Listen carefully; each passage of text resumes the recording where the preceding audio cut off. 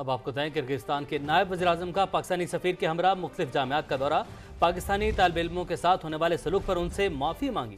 तफसीत हासिल करेंगे भी आपको बताएँ कि किर्गिस्तान के नायब वजी का पाकिस्तानी सफीर के हमरा मुख्तलिफ़ जामियात का दौरा और पाकिस्तानी तालब इलमों के साथ होने वाले सलूक पर उनसे माफ़ी मांगी गई है और नायब वजी किर्गिस्तान का कहना है कि पाकिस्तानी तलबा के साथ होने वाले सलूक पर अफसोस है। दानियाल उमर हमारे साथ मौजूद हैं, उनसे मालूम हासिल करते हैं। जी दानियाल, बताइएगा।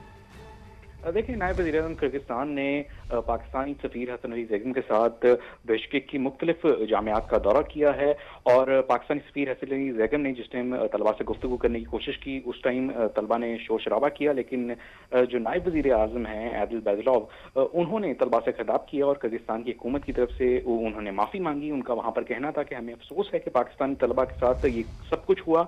हमारी इंतजामिया तलबा को मुकम्मल सिक्योरिटी फराहम करने में नाकाम रही है। उन्होंने ये भी कहा कि हमने तमाम मुलविस अफराद की निशानदही कर ली है और तलबा से जो मारपीट करने वाले अफराद हैं, उनको नहीं छोड़ा जाएगा। जदीद टेक्नोलॉजी का इस्तेमाल भी किया गया है। इन तमाम अफराद को पकड़ने के लिए साथ ही साथ उन्होंने पाकिस्तान की जो हुकूमत है, उसकी तारीफ़ की कि पाकिस्तानी हुकूमत जो है, वो हर लम्हे हमारे साथ रबते में है। पाकिस्तानी सफीर भी तलबा के तहफ़ के लिए किर्गिस्तान का हर दरवाज़ा जो है, वो खटका रहे हैं और मसबत किरदार अदा कर रहे हैं। साथ ही साथ उन्होंने तलबा से रिक्वेस्ट की है कि वो किर्गिस्तान में ही वापस रुकें, क्योंकि हालात जो है उनकी कोशिश है कि वो मामूल के मुताबिक जल्द ही आ जाएँगे वरना उनकी जो मजीद तालीम है उसके लिए वो इकदाम करेंगे क्योंकि ये सपीर ने सिफारिश भी की है कि क्लासेस को ऑनलाइन कर दिया जाए उनके एग्ज़ाम्स भी ऑनलाइन लिए लिए जाएँ।